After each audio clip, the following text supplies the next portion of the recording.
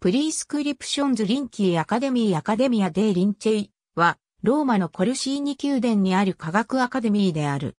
現在のアカデミア、ナツィオナル・デイ・リンケは、数学者のカステルノーボラによって1946年に再建された。伝統のある名称のデイ・リンケは、大山猫の鋭い視力を科学者の目標にしたものである。和訳の例としては、山猫学会、山猫アカデミアなど、数奇教、バルトロメオ・チェージを出した富裕な名門の子息、フェデリコ・チェージが設立した。最初のメンバーは、ヨハネス・ファンヘイク、フランチェスコ・ステルティ、アナタシオ・デ・フィリスであった。1610年にジャンバッティスタ・デ・ラポルタが加わり、1611年にガリレオ・ガリレーが会員となった。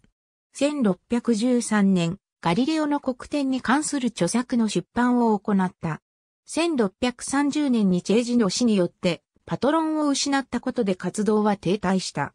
ステルッティによって活動は維持されたが、1652年にステルッティが死ぬと活動は消滅に追い込まれた。その後にイタリアに作られた学会はこの伝統ある名称をしばしば引き継いだ。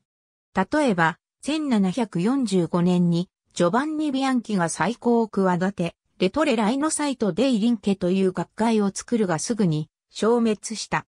1801年にスカルペリーニ氏と数学者のペッスーティがカエターニ公爵の援助を受け、アッカデミア・キタニを設立し、これがアッカデミア・デイ・リンケの名前を名乗った。19世紀初頭のイタリアはフランスの占領下となり、学会の活動は狭い地域的な活動になっていた。1847年にローマ教皇ピウス9世が新林チェイ教皇庁アカデミアを設立した。イタリア統一運動を経て、1861年にイタリア王国ができると1874年に国立リンチェイアカデミアが設立された。ファシズムの時代になると、イタリア王立アカデミーが作られ、1939年にはリンチェイアカデミアは吸収された。